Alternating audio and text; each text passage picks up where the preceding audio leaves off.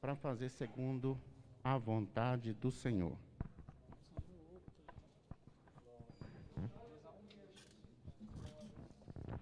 Glória a Jesus. Com alegria quero cumprimentar toda a igreja com a paz do Senhor Jesus. Quero te convidar para nós louvar o Senhor com o corinho, enquanto os nossos oficiais estarão recolhendo a oferta. Você pode ficar de pé mesmo. É mais fácil, né, para levar a mão assim no bolso, tirar a sua oferta e assim o nosso culto estará completo e iremos orar entregando é, a direção do culto ao Espírito Santo de Deus que estará usando pastor Geraldo que estará ministrando o ensinamento para a igreja nesta noite. Nesta noite feliz, neste santo lugar, eu marquei um encontro com Deus. Seu amor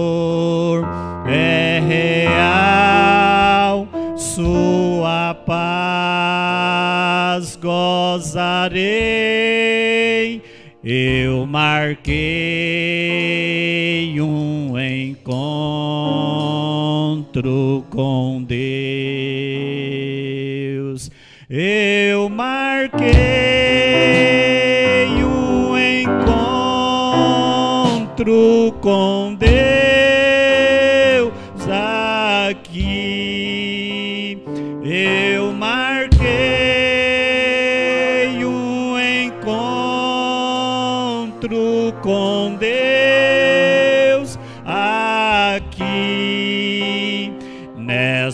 Noite feliz neste santo lugar. Eu marquei um encontro com Deus. Oremos. Senhor meu Pai nós estamos diante da tua presença e aqui nós queremos, ó Pai, começar a ouvir a mensagem que o Senhor tem para entregar aos nossos corações. Pai, eu peço ao Senhor que esteja usando o ministrante da tua palavra e também os nossos irmãos que estão, ó Pai, através das redes sociais, que estarão acessando, ó Pai, para participar da ministração da tua palavra. Faça com que possa ser útil na restauração espiritual, na edificação, ó Pai. Assim nós louvamos e bendizemos o seu nome. Amém, Jesus. Amém. Glória a Jesus. Glórias a Deus. Ainda de pé, irmãos, Pastor Geraldo com a direção para ministrar aqui a palavra de Deus.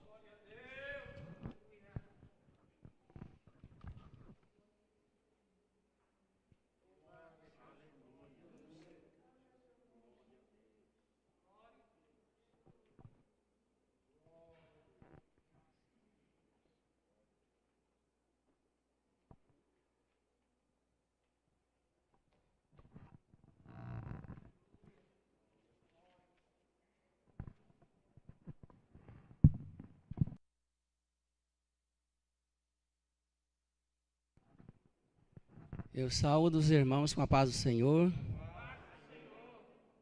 Aproveitar de pé para ler a Bíblia, Atos Apóstolo. Atos Apóstolo, capítulo 1, versículo 4 e 5 e 8.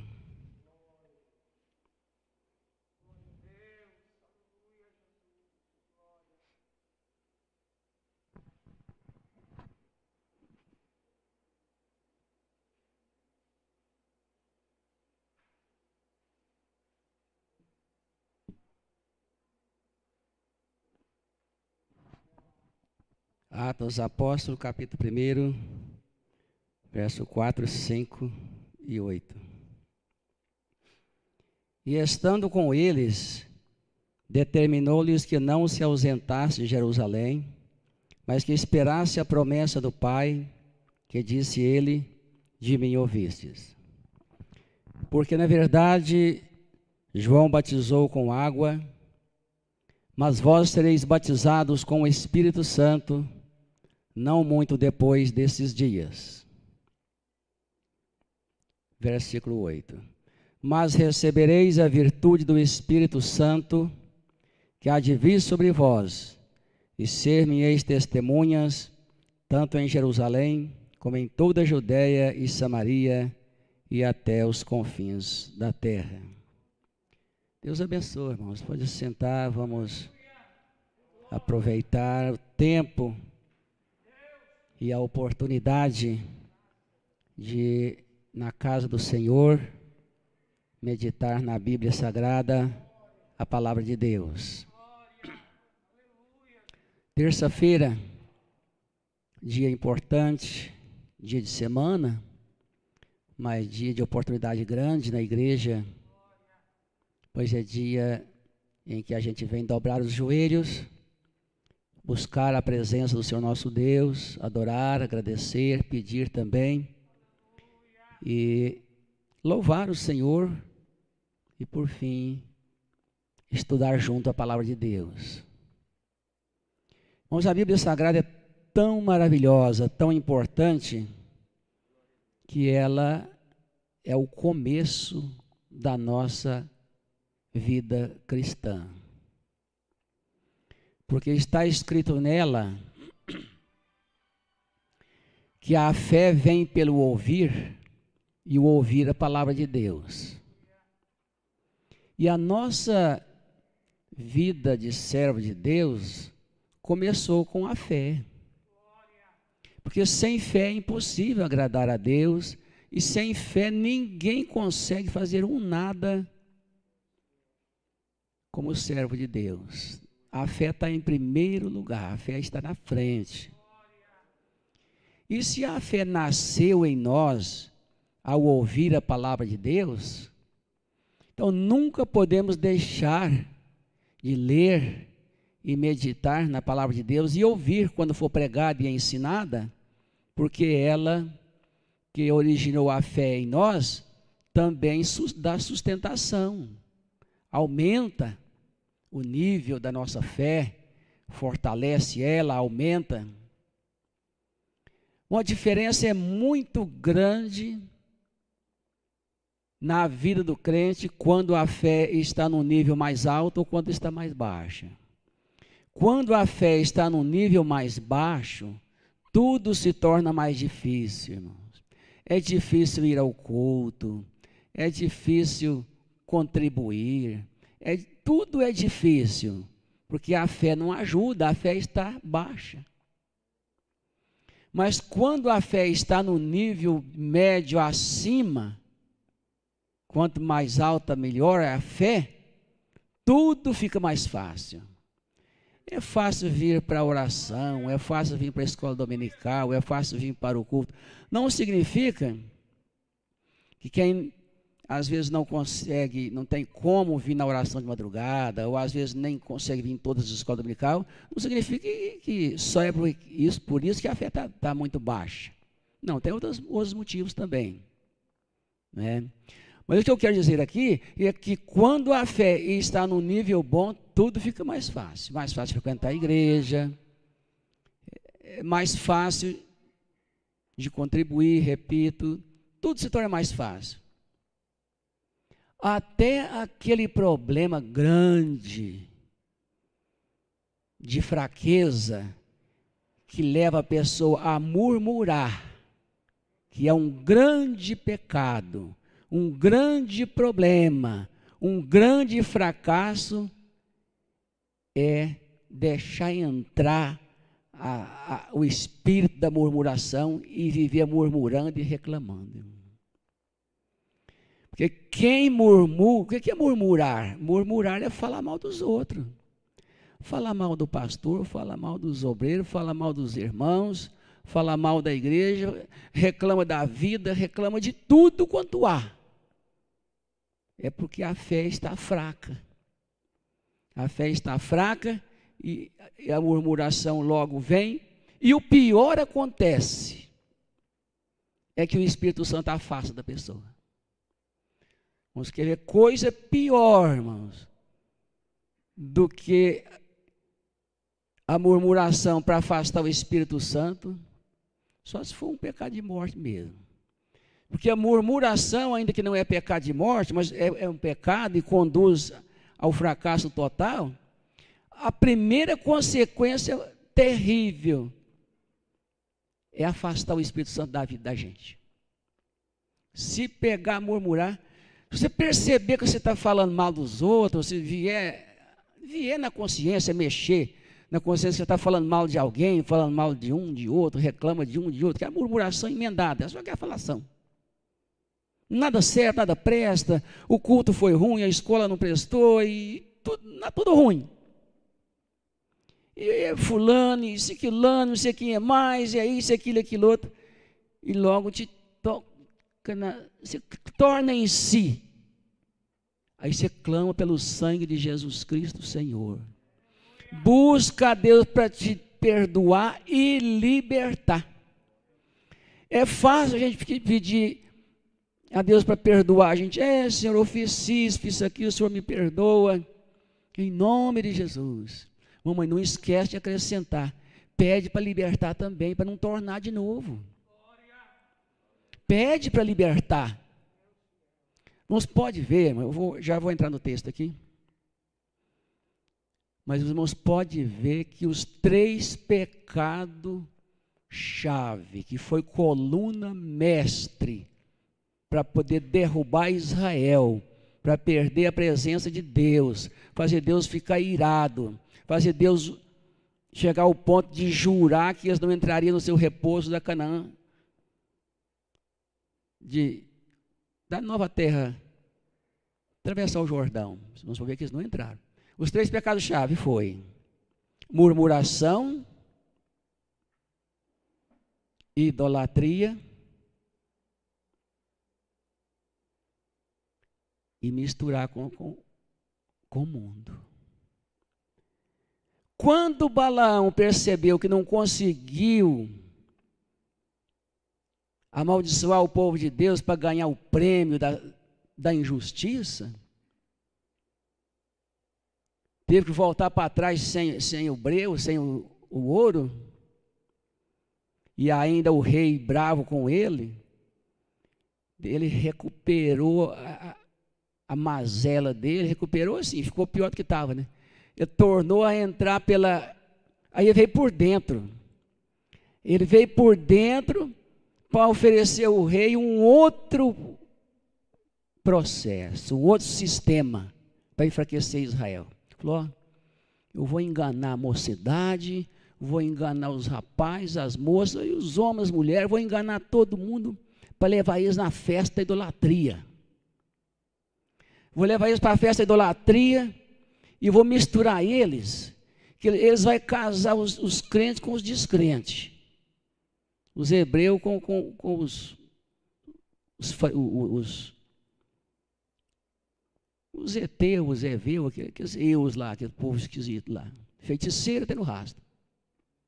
E foi o que, que ele conseguiu.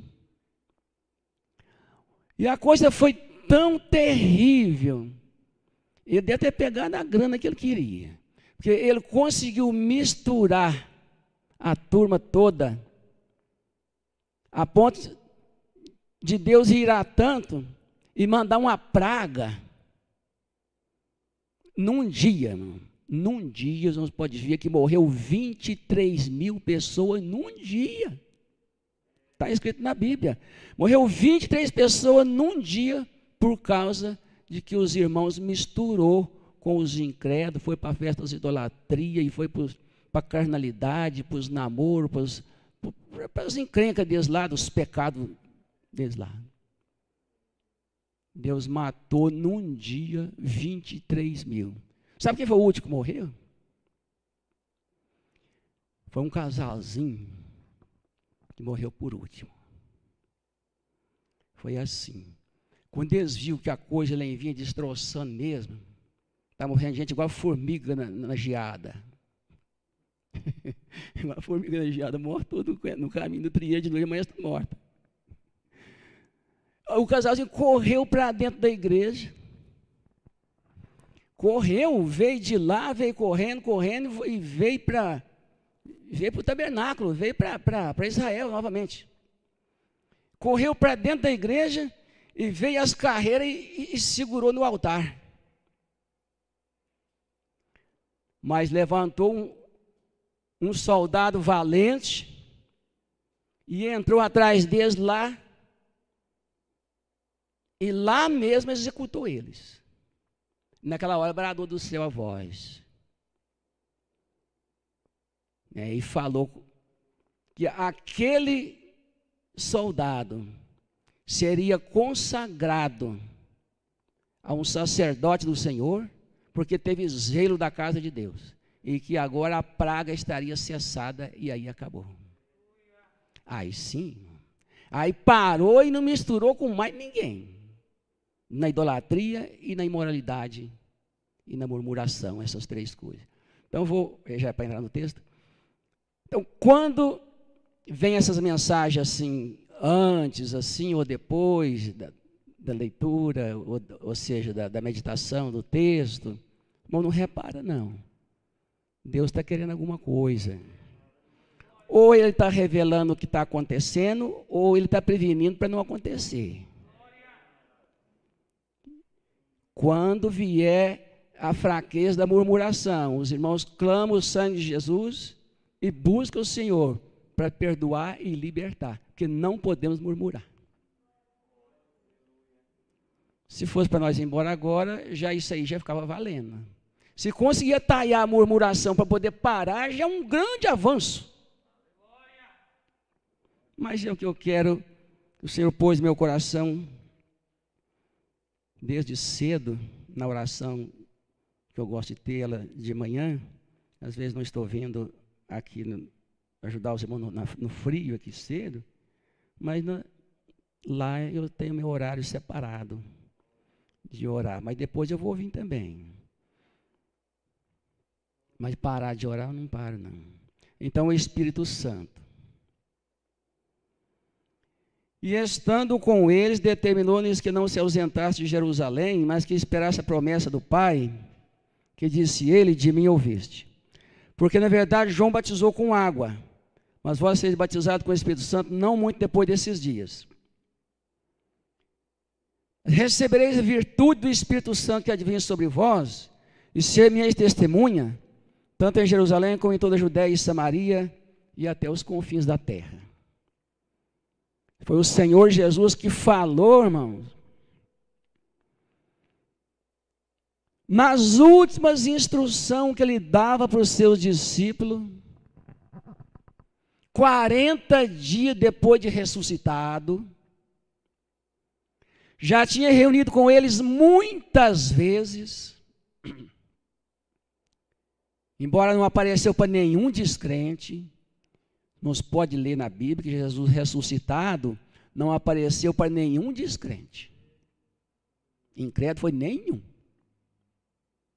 Mas para os irmãos foi muitas vezes, e foi no espaço de 40 dias, não é todos os dias, periodicamente. E na última reunião que ele teve com eles, que eu quero crer que foi a vez que teve mais gente, que a frequência foi maior, porque a Bíblia diz que ele foi visto ressuscitado por fulano, por ciclano, por Maria, Madalena, não sei quem é mais, sei quem é mais, sei quem é mais, e foi visto uma vez ressuscitado por mais de 500 irmãos. E eu fico querendo muito continuar crendo. A menos que alguém venha me provar o contrário, aí eu mudo, né? Mas eu fico querendo continuar crendo que foi no dia que ele subiu ao céu. O dia que ele subiu ao céu foi esse dia que ele falou com eles: a vocês estão batizados nas águas. Batismo de João. Estão batizados nas águas. Mas agora vocês vão ser batizados com o Espírito Santo e vai ser daqui a poucos dias. Vocês vão ser batizados com o Espírito Santo. E sabe o que vai acontecer? Estou parafraseando com as minhas palavras. quando vocês forem batizados com o Espírito Santo, vocês vão receber poder. Virtude ou poder, a mesma coisa. Vocês vão receber uma virtude, um poder tão grande, que vocês vão passar a ser minhas testemunhas até para o samaritano. Os irmãos podem ver que o samaritano era tão inimigo dos judeus, o samaritano era mestiço, meio judeu, meio, meio gentio. Da época do cativeiro, misturaram tudo e deu isso. Mas o samaritano era dividido, irmãos. Os samaritanos adoravam lá no Monte Gerizim. E os judeus em Jerusalém. Você pode ver quando Jesus encontra aqui no, no, no capítulo 4 de João, aquela mulher foi buscar água, tem esse assunto lá. O monte e, e, Jerusalém. Então, era essa, era essa divisão toda. E quando Jesus foi entrar em Samaria, eles não deixaram, não. Uma briga feia. João, Tiago e João queria que Jesus permitisse eles pedir fogo do céu, igual Elias fez. E, e construiu aqueles, aqueles capitão dos 50 lá, para construir, para matar os samaritanos tudo. Tiago e João. Eles, eles tinham um apelido de filho do trovão, Boanerges, né? Filho do trovão. Falou, o Senhor, deixa nós pedir fogo do céu, igual Elias fez, e matar esses samaritanos tudo aqui, que acaba com essa praga, né? Jesus falou: Não. O filho do homem não veio destruir as almas dos homens, não veio salvar. Vocês não estão sabendo nem de nada. Vocês não sabem nem de que espírito sois. Vocês não sabem de nada. Deixa aí. Passou por fora, deixa, deixa lá. Mas agora não. Sendo eles iam ser batizados com o Espírito Santo e receber tanta virtude e tanto poder que ia ter força e coragem para pregar até para os samaritanos. Irmãos, pode ver, irmãos, que depois do batismo com o Espírito Santo, a igreja logo foi crescendo e crescendo e crescendo. A primeira pregação de Pedro foi 3 mil pessoas que converteu, a segunda mais 2 mil. E eles encheu Jerusalém daquela doutrina, porque eles estavam cheios do Espírito Santo. E quem está cheio do Espírito Santo, irmãos, eu vou falar para vocês uma coisa: ele vai mesmo. Quem está cheio do Espírito Santo, ele vai mesmo, ele prega faz evangelismo pessoal, ele faz evangelismo de praça, faz evangelismo de rádio, de televisão, de qualquer... ele vai mesmo. Vai até no São Félix. amanhã, amanhã é dia de São Félix. Vai. Quem está cheio do Espírito Santo vai, prega em qualquer lugar. Pois você pode ver que mais tarde, aí, aí a igreja cresceu, consag, teve que consagrar obreiro, né? Atos capítulo 6. Aí os apóstolos assim, ó, nós está tá havendo uma reclamação muito grande aí, murmuração das viúvas, na assistência social aí. E nós, os apóstolos, estamos ocupados com as mesas, com a ação social aí, nós não podemos ficar assim não, tem que consagrar, vamos consagrar sete diáconos. Homem que seja cheio do Espírito Santo e de sabedoria e de boa reputação. Isso é boa fama, né? Bom testemunho. Vamos consagrar sete diáconos, homens cheios do Espírito Santo. Cheio do Espírito Santo. Tanto não consagra. Separa cooperador sem ser batizado com o Espírito Santo, mas para consagrar mesmo, que é com a imposição das mãos de diácono para cima, na Assembleia de Deus tem que ser batizado com o Espírito Santo, senão não consagra. E eu estou ficando preocupado. Porque a notícia de batismo com o Espírito Santo pelo Brasil afora está menos.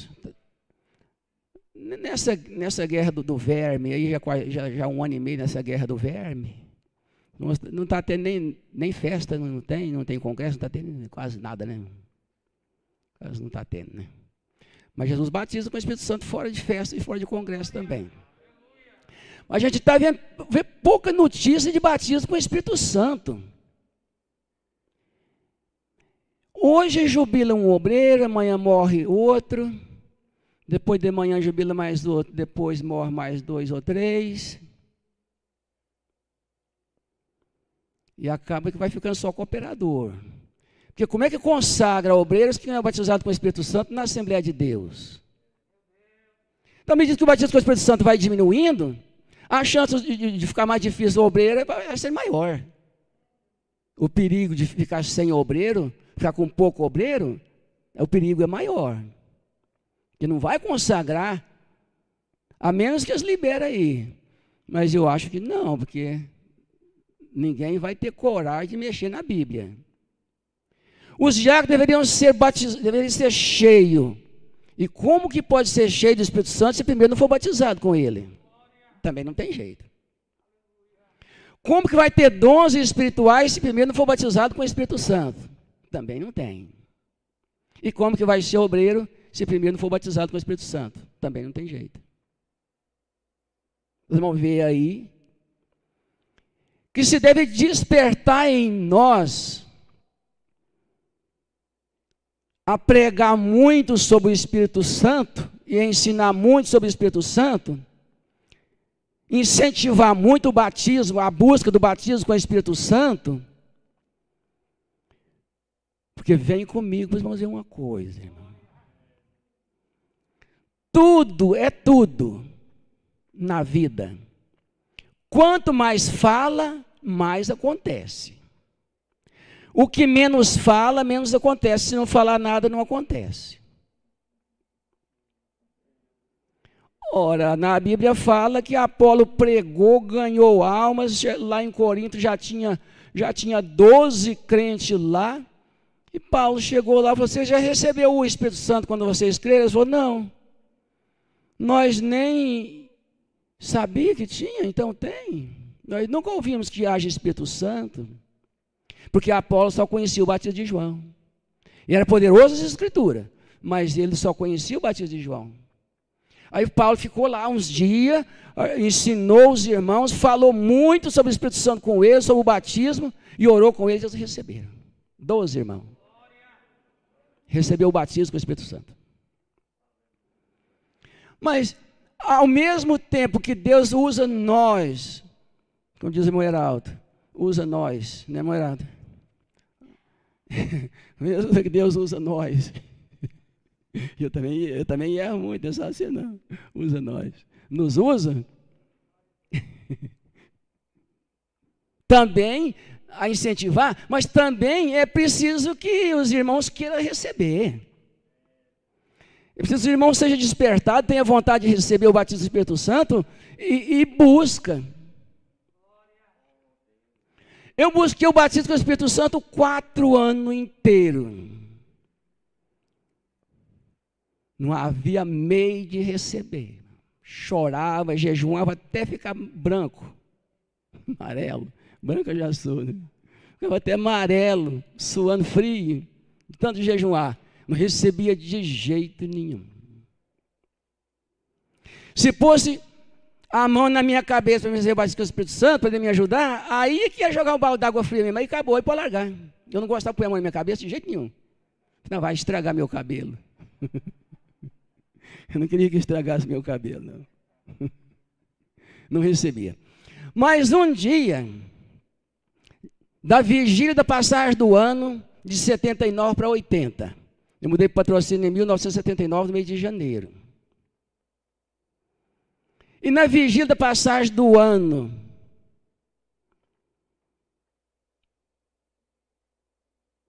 Não, nós mudamos, Divina, foi 79, no começo de 79, né?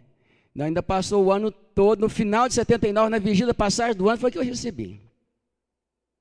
Aí sim, já fazia quatro anos que eu estava batizado nas águas. E aí assim, o sol estava acabando de deixando só aqueles raios amarelados, riscado, o céu estava riscado assim, de amarelo. O sol tinha, estava acabando de esconder. E eu ainda fui, nem lembro aonde mais, sei que foi para o lado da, da, da, da Sayase, que era onde eu trabalhava, e que é ali da saída para o Uberaba ali. E eu fui de bicicleta, não sei onde que eu fui, para voltar, ah, depois para arrumar para vigília. A vigília começa mais tarde um pouquinho. E quando eu fui na última subidinha, assim, daquele alto ali do lado direito, ficava o colégio Irmã Gislene, fica, ficava, não fica, está lá até hoje. Logo em frente era a empresa, a Sayase. Depois a estrada que ia para Uberaba, está lá até hoje, hoje daquelas garagens, aqueles prédios que está ali de empresa. Mas nesse tempo não tinha nada disso. Quando eu subi de bicicleta com uma lançante assim, que cheguei no alto, e eu fui dar uma pedalada assim, a corrente da bicicleta estava meia bomba, ela soltou e eu parei. Aí assim que eu parei, e achei bonito demais o céu riscado de amarelo e meio rosa, assim, aquela coisa mais. Eu olhei para o céu assim, comecei a chorar. Me deu aquela emoção, subiu aquela alegria tão grande assim. Parece que o céu sorriu para mim. Veio uma alegria tão grande, o céu baixou ali, ficou, ficou, ficou, eu parei, mordi nos lábios, assim, fiquei lá, e a lágrima escorreu. E, eu, e me veio na mente, hoje eu vou ser batizado com o Espírito Santo. Fui lá e logo voltei para casa, arrumou e nós foi. Fomos para a vigília. Pois foi, irmão, naquela vigília, à meia-noite, nos primeiros minutos de 1980, Jesus me batizou com o Espírito Santo. E com fogo. Com o Espírito Santo e com fogo. Fogo do céu. Porque o suor molhou a camisa até colar nas costas. Era grande o poder, irmãos. Era grande a maravilha de Deus e não conseguia parar de falar em outras línguas. A gente batizado com o Espírito Santo ou renovado com o Espírito Santo, a gente não perde a consciência, não. Lá no centro espírita que perde a consciência. Lá perde. Mas batizado com o Espírito Santo, cheio do Espírito Santo, você está vendo e ouvindo, sabe tudo que está passando em volta. Se bater na campanha para parar, você para, você está em si. Ninguém sai de si assim, não. Só lá é que sai. Nunca fui lá, não, mas diz que é assim, né? Nunca, nunca, em nome de Jesus, nunca vou lá. então, eu queria parar de falar em outras línguas para dar. Porque, né, tinha que. A vigília já agora já levantou da oração e tudo. Estava difícil de parar até que eu consegui parar. Foi quatro anos. Eu não sei quantos anos faz que o irmão está buscando o batismo do Espírito Santo, a irmã também. Mas se você crê nesse versículo aqui, mas recebereis, ou seja, antes desse, antes. Porque João, na verdade, batizou com água, mas vós sereis batizados com o Espírito Santo não muito depois desses dias. Se você crer nesse versículo aqui e buscar, você pode receber. O pastor Osmar conheceu e contou para nós de pessoas que receberam o batismo do Espírito Santo. Acordou batizado com o Espírito Santo, falando outras línguas. No café da manhã, foi batizado com o Espírito Santo na hora do café da manhã, na mesa do café. Foi batizado com o Espírito Santo. O café derramou, mas não tem problema não, o café tem muito. Porque a pessoa, a emoção é forte do batismo com o Espírito Santo. Quando a primeira irmã batizada com o Espírito Santo no Brasil, irmã Celina Albuquerque recebeu o batismo com o Espírito Santo, à noite, num culto em casa,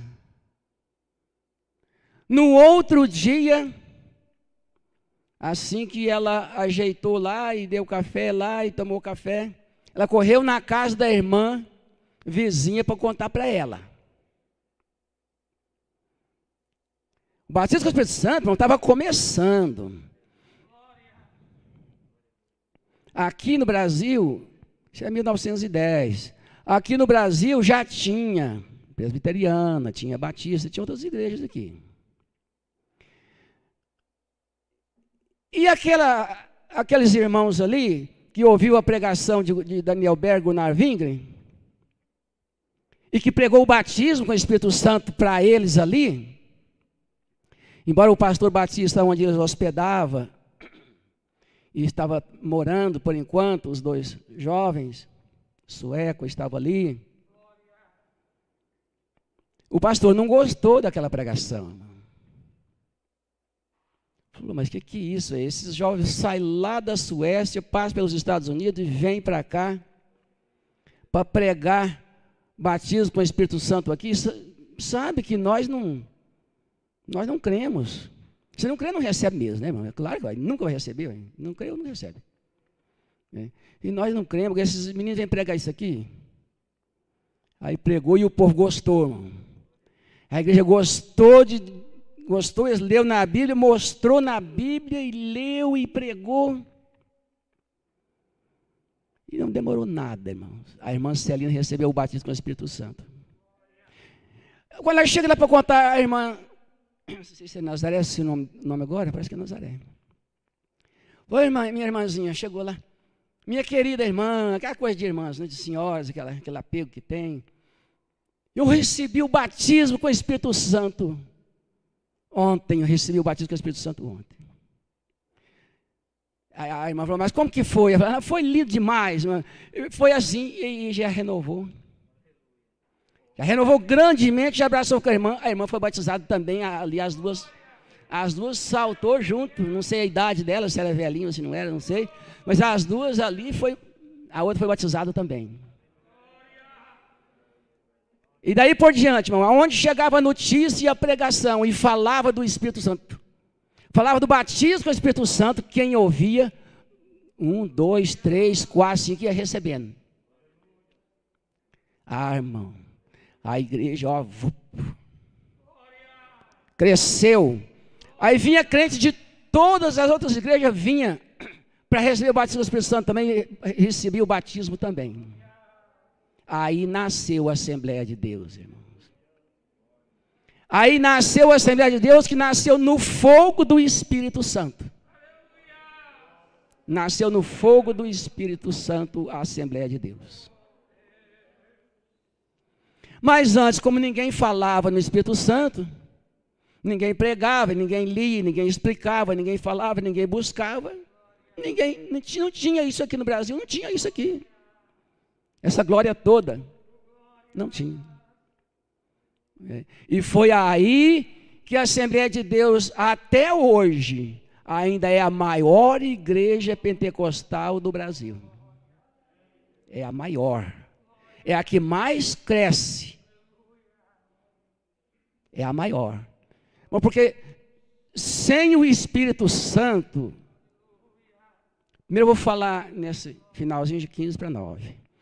Primeiro eu vou falar aqui, irmão, o valor da pessoa do Espírito Santo e as obras que ele faz na vida da gente, mesmo sem, sem, sem batizar.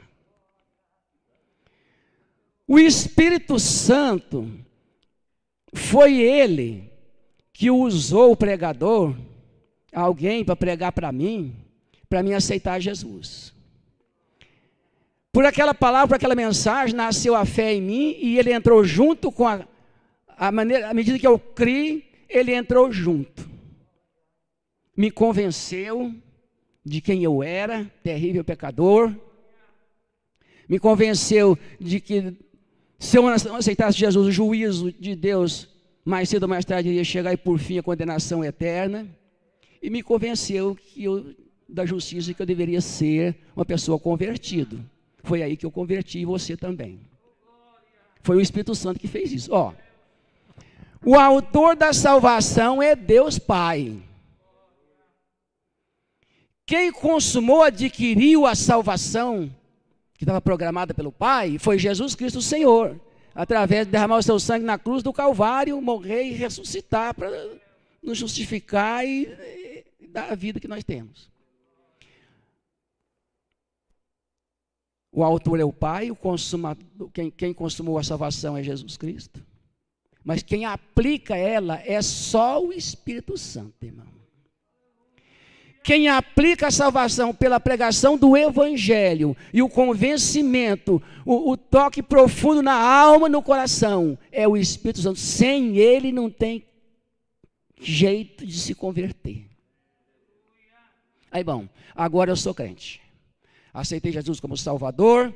O Espírito Santo fez essa obra, fez essa graça maravilhosa e ele, o Espírito Santo entrou no meu coração e colocou nele a presença do Pai e do Filho também. E eu sou crente, sou salvo, sou perdoado, sou servo de Deus e amém e glória a Deus. Verdade pura. Mas tem mais. Mas ainda tem muita coisa boa para você viver aqui e fazer a obra de Deus, que é o batismo com o Espírito Santo. Todos os crentes verdadeiros têm o Espírito Santo. Recebeu ele no dia que aceitou a Jesus, que foi através dele. Você tem. Você tem o Espírito Santo na sua vida. Ele está em você. Se não tivesse, você não estava aqui não. Se o Espírito Santo de Deus não tivesse em você, você estava no mundo de pecado. Não estava aqui. Só está crente porque o Espírito Santo está na sua vida. Só que eu queria e quero muito, nessa oportunidade, lembrar de que a gente não pode também, irmãos, ainda que a gente tem que ser, como diz o irmão Dinaldo ali, ó, a gente tem que ser contente, que a maior riqueza que tem é o contentamento. Não adianta bilhões e trilhões. Se não tiver contentamento, aquilo não faz, não traz paz, não traz alegria nenhuma. Não adianta nada. Contentamento é a riqueza maior. Depois da saúde, que a saúde é a primeira. Né? Sadio e contente, está arrumado. Com muito dinheiro ou com pouco dinheiro, está arrumado. Mas conformismo. A gente não pode conformar, irmão, e contentar só. Embora é uma glória muito grande, é uma riqueza muito grande, é um tesouro muito grande, muito maravilhoso, incomparável, que não tem dinheiro que compra. Só o sangue de Jesus que é a salvação. Mas para viver aqui e trabalhar, viver aqui e trabalhar, fazer as coisas para Deus, com batismo no Espírito Santo, é mil vezes mais. É mil vezes mais, irmãos. Em alegria, em dinamismo na obra de Deus, virtude virtude, poder, sabedoria, discernimento, autoridade, unção e graça, disposição e ousadia. Quem é batizado com o Espírito Santo é, é mais. Ele faz mais. Ele não é melhor do que ninguém, não está mais salvo do que ninguém, mas na, no viver e no fazer a obra de Deus, ele é mais. Por isso é que eu, é que eu digo aos irmãos, irmãos, seja batizado com o Espírito Santo também, irmão, seja. Você quer, irmão? Irmão, irmão, irmão, você quer ser batizado com o Espírito Santo? Você quer? Eu sei que você quer. Então você começa a jejuar e orar e pedir. Jejuar, orar e pedir. À medida que você vai jejuando, orando e pedindo, também as picuinhas da vida, as coisas que não pertencem a Deus e que causa frieza de fé, aquilo vai ficando de lado também. Aquilo vai ficando. Que você tão ocupado e tão interessado em buscar a Deus, ser batizado com o Espírito Santo, jejuando e orando e buscando, é claro, irmãos, não é simplesmente um esquecimento, é uma libertação tudo quanto é coisinha dessa vida, inimizade, todo tipo de fraqueza, murmuração, isso, aquilo, aquilo outro, aquilo vai ficando de lado. Você passa a ter uma comunhão com Deus mais de perto, assim, ó. Sabe aquela comunhão com Deus mais de perto? Que você vai andando assim, de repente você se liga tanto no céu, que você ouve a voz de Deus, não é por esses ouvidos aqui, não. Eu não gosto de cochicho, não gosto de ouvir voz, para a pessoa que fica ouvindo vozes, está fraco da mente. A pessoa ficou ouvindo vozes com esses ouvidos aqui, está fraco da mente. Quando dizia o saudoso vão secundino, problema de mente. Ele está tá com problema de mente. Então ficou ouvindo vozes, isso, aquilo, vê vulto, isso, aquilo, aquilo outro. Não, é problema de mente. Mas é a voz de Deus você ouvir nos ouvidos da alma. Mas a alma escuta? Escuta, irmão. Escuta.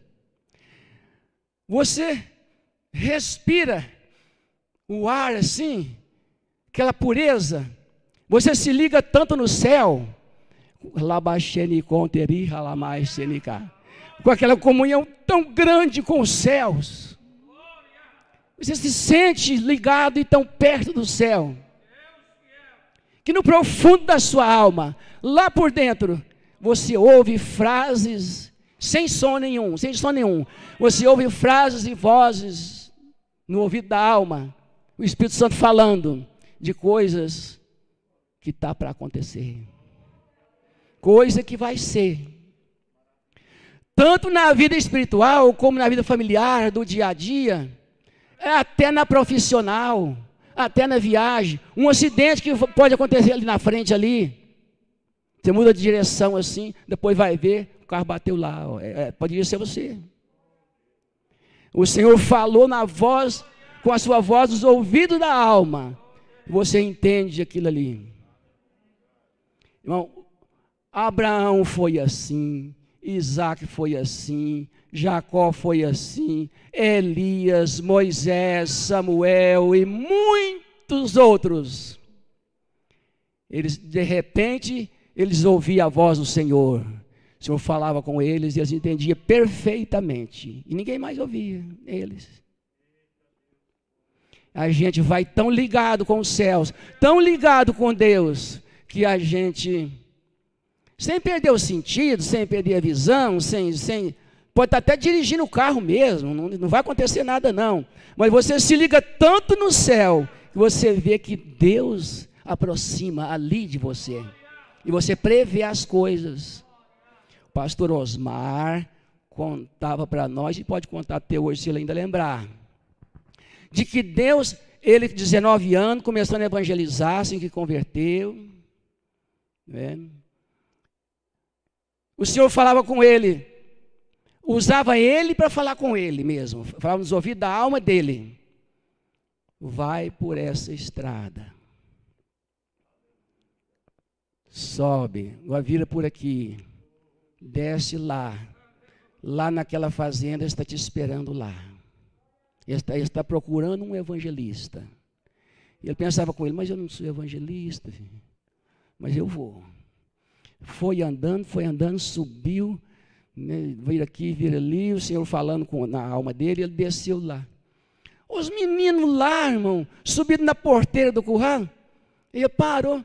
O senhor é o evangelista que ia vir aqui? Ele falou, eu, eu sou. Eu, Deus tinha falado com ele, né? eu sou. Não, eu vou chamar a mamãe. O papai está tá, tá ali já vem também. E aí veio, todo mundo veio vindo, recebeu ele. Né? E ali, falou, não, é porque nós ouvimos falar que de um moço é, que está evangelizando, evangelista, chamou Osmar. É o senhor? Ele falou, sou. Não, queria que o senhor orasse para nós, lesse na Bíblia e cantasse um hino aqui. O senhor pode? Ele falou, posso.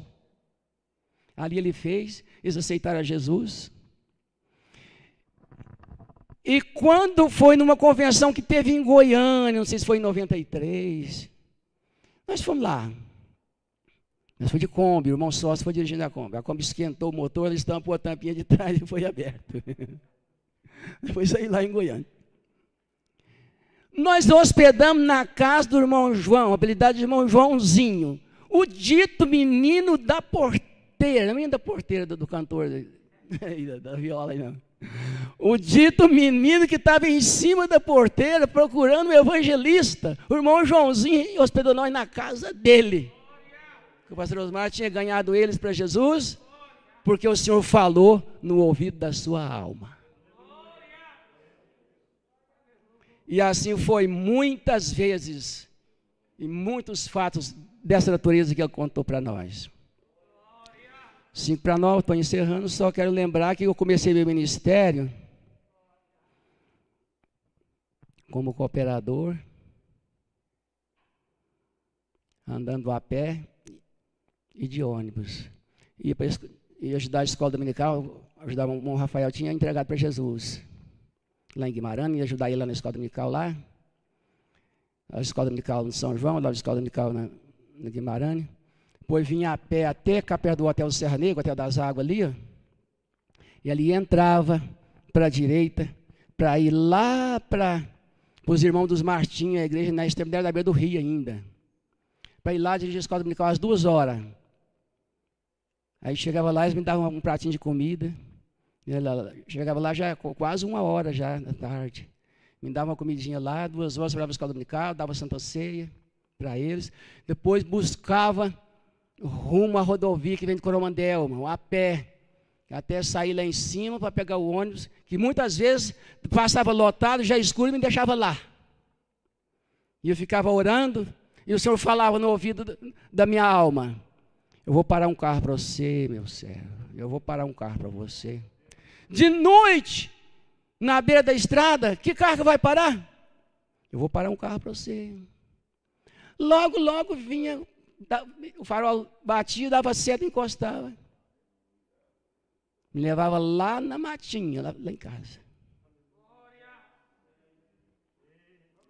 Mas para ir lá do, São, do Hotel Serra Negra, lá do São João, e para ir para os Martins por baixo, as primeira vez, nos trilhos, passando debaixo de cerca de arame, vaca pegadeira, que corria atrás da gente, cachorro desse tamanho, Vou medir aqui em sexta, fica grande demais. Fica muito grande medir aqui. Cachorro desse tamanho, queria me pegar, e não tinha estrada, não tinha caminho, pulava o Rio Espírito Santo, o Rio Espírito Santo lá. Pulava na curva para lá, depois pulava para cá, ia estar nas curvas do rio assim, para não ficar dando volta. Passava dentro d'água, saía de lá. É. Mas, e não sabe, as primeira vez, parava num lugar que tinha dois, três caminhos trilho para cá e para lá. Agora, Senhor, como é que faz isso aqui? Vai por esse. Entrava certinho, não errei nenhuma vez. Vai por esse. Descia ali, descia lá. Cachorro não, não me pegou, as vacas também não conseguiu me alcançar, porque eu corri muito. não pegou. Né? E ali começou meu ministério. E Deus abençoou grandemente. O Espírito Santo fala. Ele é vivo. E ele batiza. E depois que você recebeu o dom do Espírito Santo, que é o batismo, você vai receber os dons espirituais também. Ô, irmão, eu agradeço muito a oportunidade, a boa atenção dos irmãos. A gente fica feliz em ver os irmãos é, interessados né, no assunto do batismo com o Espírito Santo. Deus abençoe.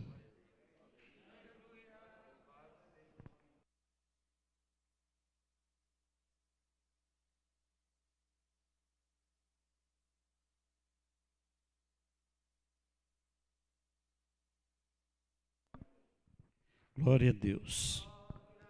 Vale a pena, irmãos, estar aqui nos cultos de terça-feira você que sentiu um gostinho na sua alma aí, ardendo de alegria, o que, que o Espírito Santo pode fazer na nossa vida? Conta para o seu irmão, conta para a sua irmã, para que nós possamos estar mais unidos na casa do Senhor.